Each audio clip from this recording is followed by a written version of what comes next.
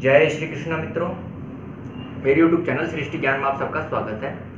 दोस्तों, आज बात करेंगे बहुत ही चर्चित विषय हनुमान जी की पूजा पाठ के बारे में। हनुमान जी की पूजा पाठ कलयुग में सभी जगह देखी जाती है। अधिकतर जो युवा वर्ग है, वो हनुमान चालीसा, सुंदरकांड, आदि आदि हनुमान जी से संबंधित पूजा पाठ करते रहते हैं। अब हनुमान जी की जो पूजा पाठ है, मेरे चैनल पे कमेंट किया, पूछा कि भाई हनुमान जी की पूजा पाठ विधि कैसे करते हैं, क्या होती है?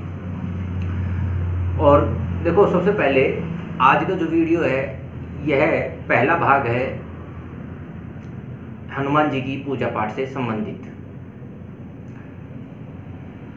हनुमान जी जो हैं, इनकी जो पूजा है, वो कलयुग में बहुत जल्दी फल देने वाली होती है।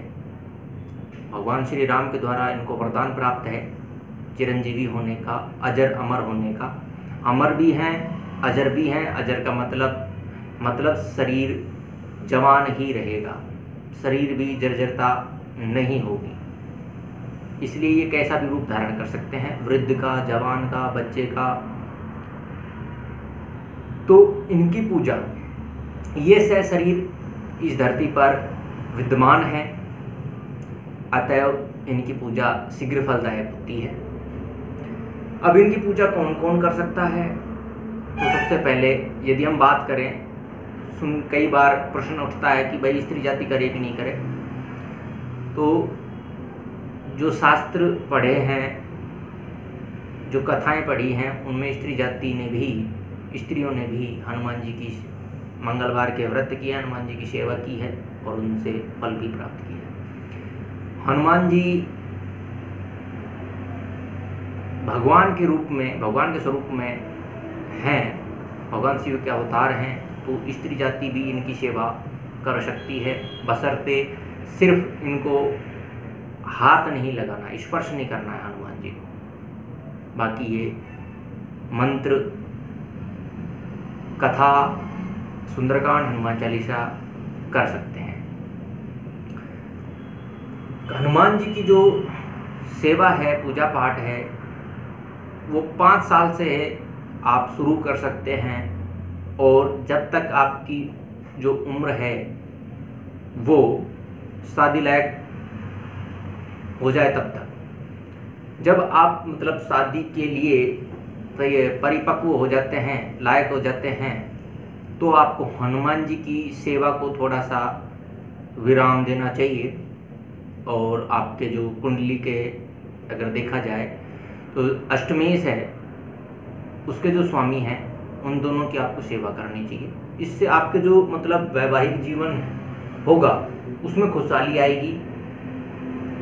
जो प्रेम, जो आपका साथी रहेगा, पार्टनर रहेगा, वो भी आपको अच्छा मिलेगा। ये संभावनाएँ बढ़ जाती हैं।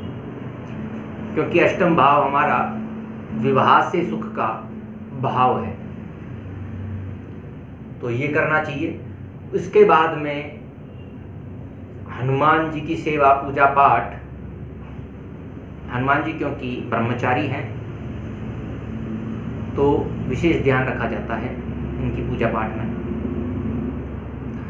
एक विद्यार्थी की तरह ये माने जाते हैं तो साधक को भी विद्यार्थी की तरह ही होना चाहिए, अनुशासन प्रिय। दूसरी बात करें, इनकी जो सेवा है, सात दिन के बाद में थोड़ी सी मैंने जैसा आपको बताया, कम हो जानी चाहिए। नवग्रह शांति के लिए भी इनकी पूजा सर्वश्रेष्ठ मानी गई है। इनकी पूजा से नौ के नौ ग्रह बैलेंस हो जाते हैं, नियंत्रित हो जाते हैं। मंगल के स्वामी हैं। मंगल किसी भी प्रकार से अगर पीड़ित है या अस्त है तो इनकी सेवा अत्यंत फलदायक होती है। राहु शनि केतु की महादशा चल रही हो, अंतरदशा चल रही हो, या गोचर बस परेशान कर रहा हो तो भी आप हनुमान जी की सेवा कर सकते हैं। जैसे कि अभी बात करें, वृश्चिक राशि, मिथुन राशि में उच्च के राहु मतलब पूजा पाठ करेंगे, इतना फल नहीं मिलता। यदि आप कर्ज से परेशान हैं तो भी आपको हनुमान जी की सेवा अवश्य करनी चाहिए पूजा पाठ अवश्य करनी चाहिए। मैंने लोगों का लाखों तक का कर्जा दूर होते हुए देखा है हनुमान जी की सेवा से पूजा पाठ से।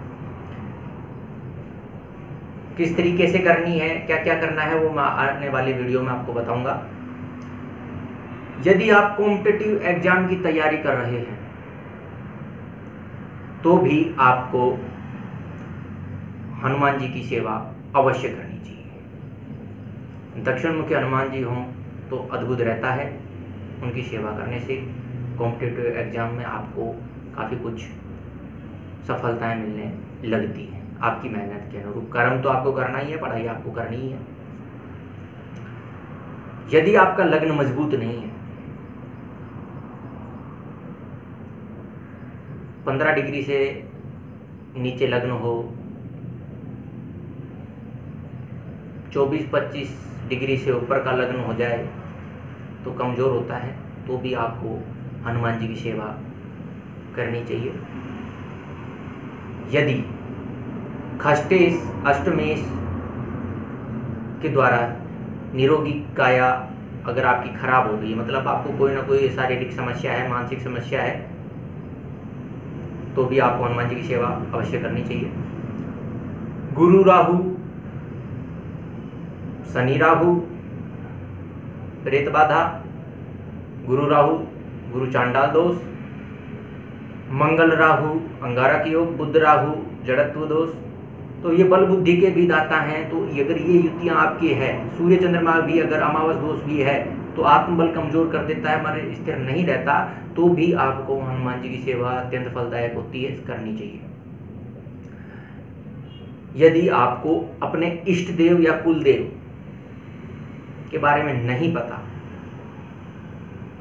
तो भी आप हनुमान जी की सेवा कर सकते हैं, पूजा पाठ कर सकते हैं, बहुत ज़्यादा आपको फल इसका मिलेगा। पितृदोष हो, गुरु, मंगल, सूर्य और आपका द्वितीय भाव का स्वामी पीड़ित हो तो भी हनुमान जी की सेवा अत्यंत फलदायक होती है। वास्तु दोष में भी इनकी सेवा अद्भुत फलदायक होती है। वास्तु दोष हर राशि के लिए अलग अलग होता है। प्रमोशन। प्रमोशन यदि हमारे से जो सीनियर है, उनसे हमारे संबंध अच्छे नहीं है तो आपको भी हनुमान चालीसा या सुंदरकांड, हनुमान जी की सेवा अवश्य करनी चाहिए। तुरंत प्रमोशन मिलता है। तंत्र मंत्र जादू टोना अगर हो तो भी करना हनुमान जी की सेवा बहुत ज़्यादा फलदायक हो जाती है। तंत्र मंत्र जादू टोना के ये सख्त खिलाफ होते हैं तो तुरंत ही उस चीज़ का ये सफाया कर देते हैं। जेल कोर्ट केस अगर चल रहा है है तो भी इनकी सेवा बहुत ज़्यादा फलदायक होती है। विजय मिलती है पंचमुखी हनुमान जी की सेवा करने से, दक्षिणमुखी हनुमान जी की सेवा करने से अत्यंत लाभ होता है। तो ये हैं जो हनुमान जी की सेवा कर सकते हैं।